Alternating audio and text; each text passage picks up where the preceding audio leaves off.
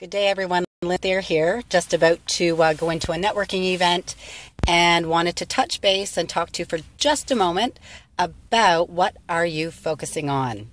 So, a lot of clients that come in to see me, I ask them, you know, why are you here?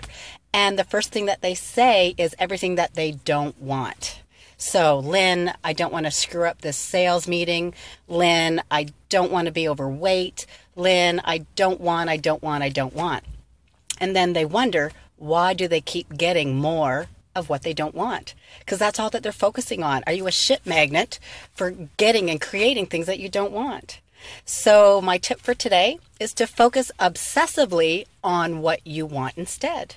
So, when that thought comes into your brain, it says, you know, this is what I don't want. Ask yourself, cancel, clear, delete. What do I want instead?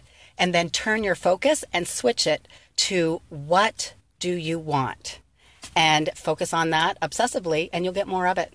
So, quick tip for today focus on what you want so that you won't be a ship magnet for what you don't want.